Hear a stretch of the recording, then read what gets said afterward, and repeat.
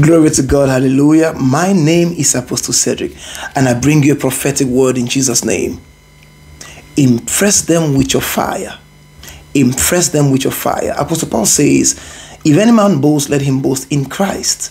Hallelujah. So boasting in Christ is legal. That's not my emphasis now. This prophetic word for somebody here who has been asking God for results, asking God for him to get you to a point where you can become a reference for your own generation. You don't want to be a Christian that people can mock. You don't want to be a powerless Christian. God says, impress them with your fire. You know, many of us try to impress people with things that are mundane, things that are temporal, and things that are not eternal. For example, you want to impress them with your clothes, with your partner, with your house and your car. All these things shall be tested with fire. Hallelujah. So if fire is the test to things, then the best thing to get is fire because fire is the test to things. There are people who are watching me right now.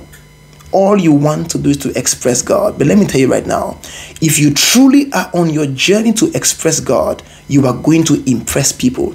How do I mean?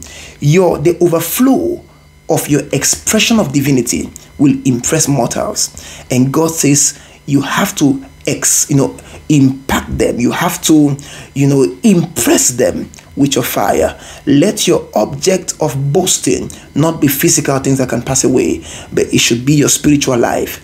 It should be your dedication to God. Let somebody be impressed by how you pray, in spite the things you go through. Let somebody be impressed by how you fast, by how you study, by how you go to church, even though you are prosperous. Let somebody be impressed by the fact that somebody can still be in our generation and has the faith of heroes of old. Impress them with your fire. God bless you. I am praying for you. Have a wonderful time. Bye bye. God bless you.